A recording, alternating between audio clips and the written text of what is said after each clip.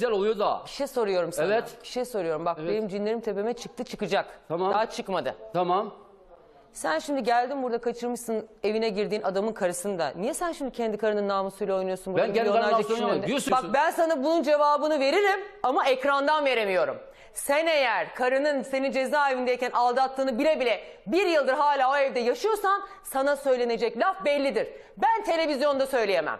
Tamam. Tamam mı? Ben de tamam. Heh, anladın mı sen ben ne senin olduğunu? söyleyeceğin lafı çok iyi biliyorum. Tamam biliyorsan o zaman ona göre konuşacaksın. Ona göre konuşacaksan ben de sana söylüyorum. O zaman sen onu mu yapıyordun? Hayır. O zaman ne? Ne demek ne? Ne demek ne?